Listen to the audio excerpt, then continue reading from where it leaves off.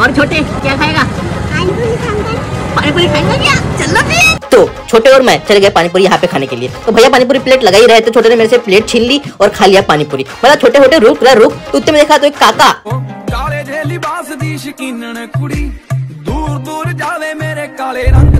पानीपुरी बना रहा था। तो भैया ने नहीं नहीं काका ने नहीं भैया ने उसमें बहुत सारी मस्त पानी पूरी डाल दी उसमें दही वही डाल दिया मस्त इमली चटनी डाल दी और सबने शेव डाल दी। छोटा भी देख रहा था मैं भी देख रहा था मैं दोनों ने खाया एक नंबर ज़बरदस्त आखिरी में बोला।